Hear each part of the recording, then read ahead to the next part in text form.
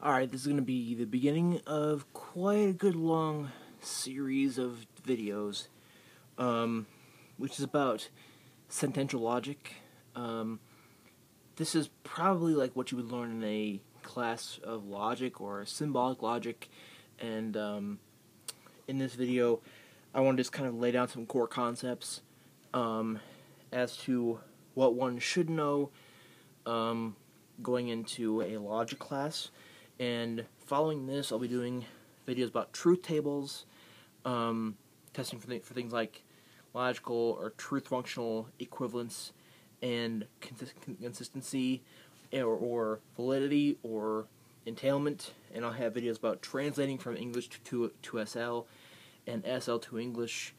And then um, also have, I'll, I will also, after all that stuff, I'll do some videos about um, derivations or proofs in uh, SL as, as, well. So turning to the board here.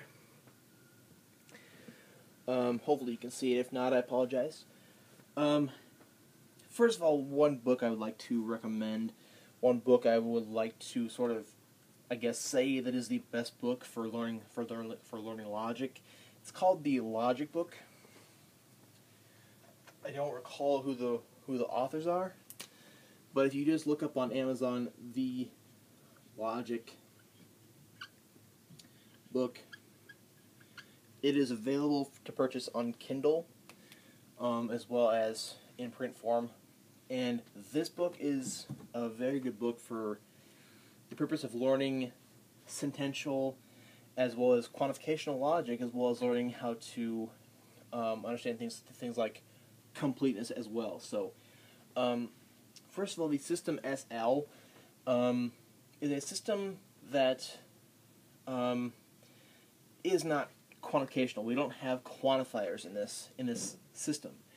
Um, this is a system that is basically the most basic form of logic that you could possibly have, and then um, as you get into like the quantificational logic, which was influenced by, by people like Frege and Russell and Boole.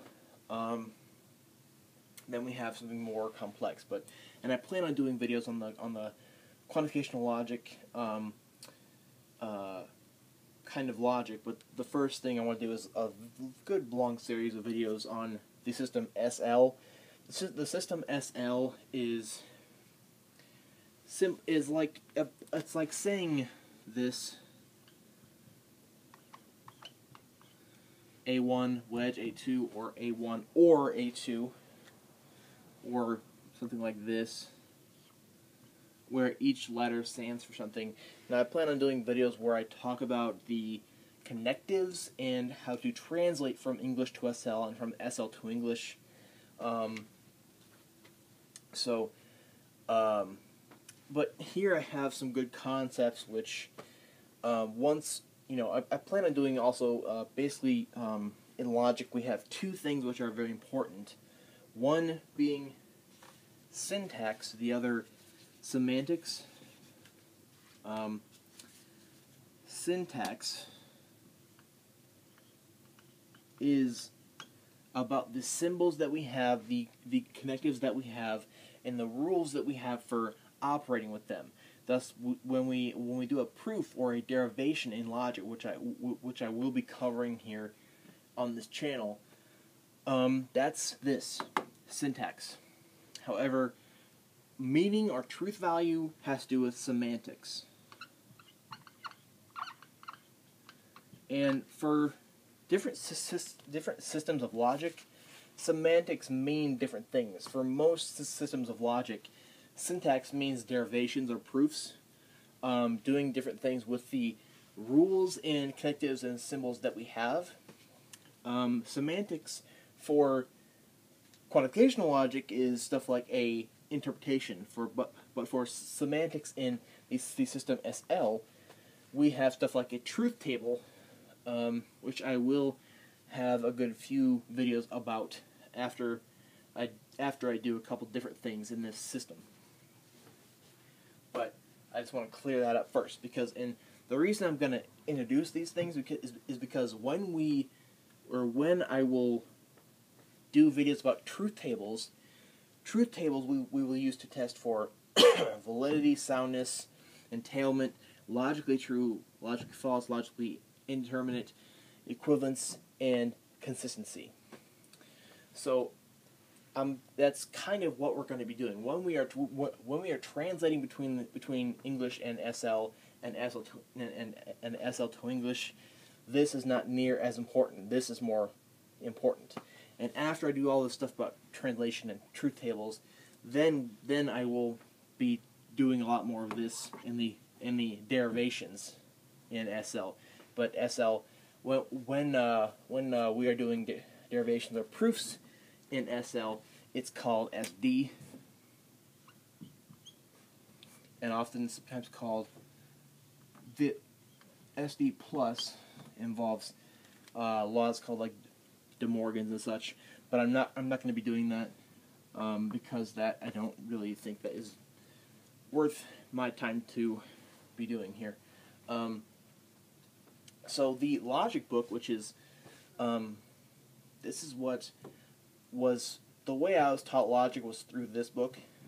So, um, what they do is that they begin the book by giving these definitions via logical, like logical validity, logical soundness, logical truth, false, indeterminacy, logical equivalence, logical consistency.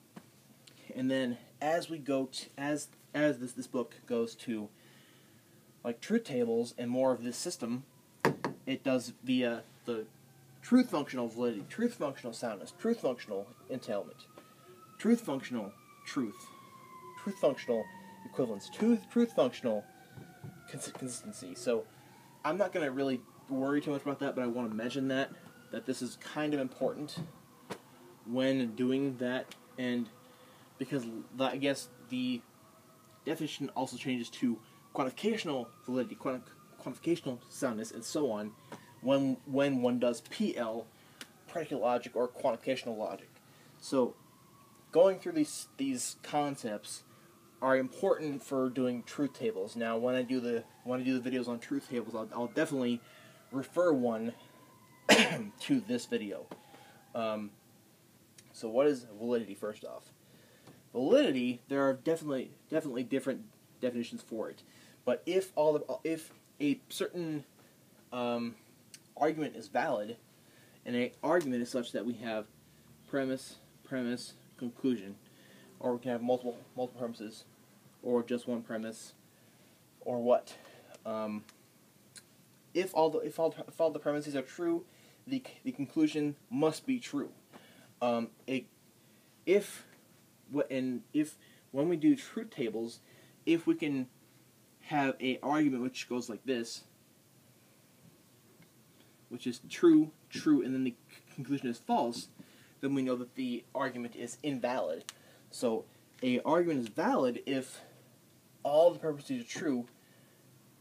The conclusion, the conclusion must be true. So if this was f, then this is a, val- a, val- a valid argument.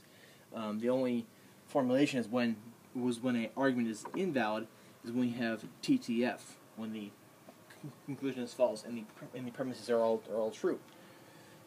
so, if all the premises are true, the conclusion must be true. That is the definition of a valid argument. Now, and here we are we are talking about arguments, and here we are talking about a set versus a proposition. This is this is a sentence or proposition. These are, these three are.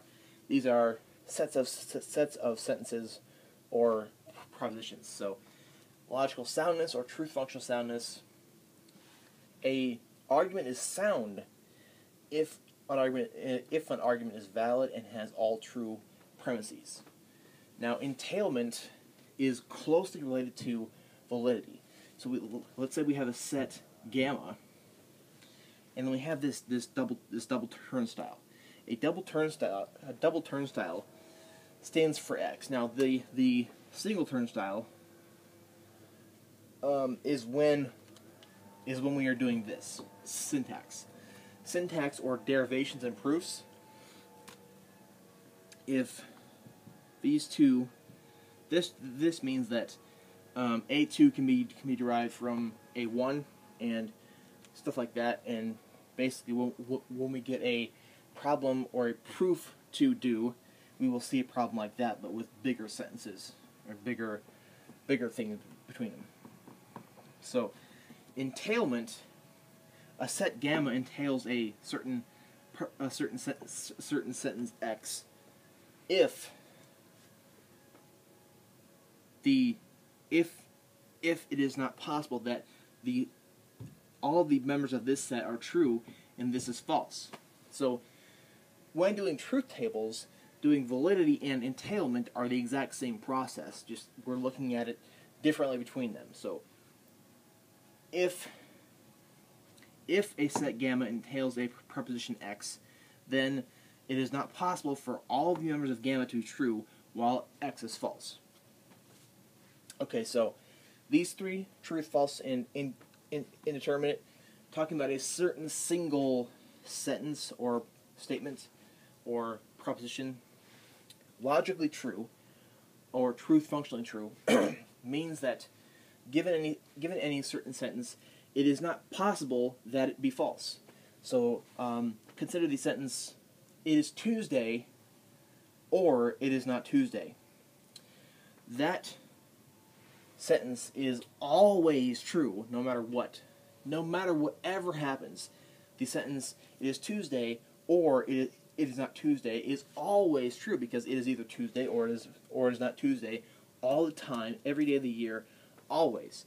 So the statement "It is Tuesday" or "It is not Tuesday" is logically true because it is not possible for it to be for it to be false.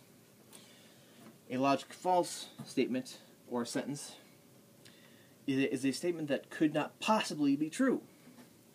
So think, consider the sentence: "It is Tuesday, and it is it is it is not Tuesday."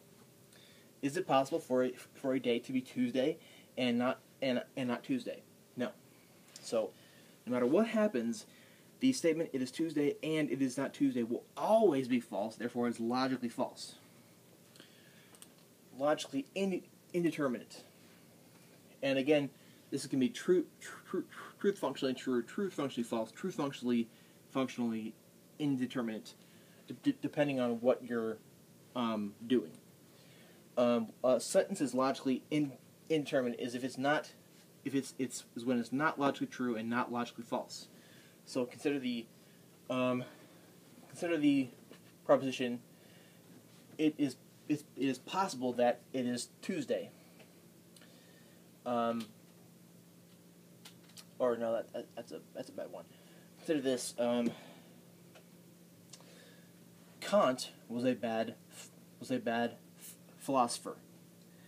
Um, that is neither is neither logically true nor logically false because there are people who think that that Kant is a good one, and then people think people that that, that, that, that think Kant was a was a bad one. So it's not either logically true nor logically false.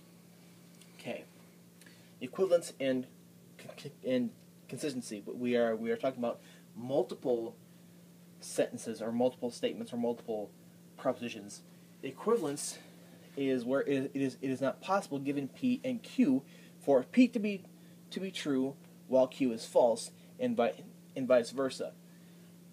so we, if we have a certain um, sentential letter A1 and then we have a certain sentential letter A2, if those two are logically equivalent, they always have the same truth value. To say that two to say that to say that two things are logically equivalent or truth functionally equivalent, it is not is it is not possible for them to have different tr- truth values. They are either both true or both false if they are logically equivalent. And I'm saying this because during the truth tables, we are testing for validity and entailment, and we're testing for these and testing for these. We're testing for those via the semantics of SL via truth tables. We're testing for all this stuff. That's why I'm kind of giving a core concept kind of overview consistency, it is po- it is possible for all you for all the all the members of that set to be, of that set to be true. Now we, we are we are talking about a set of sentences, so we have. Can you see me? Can you see it? Okay.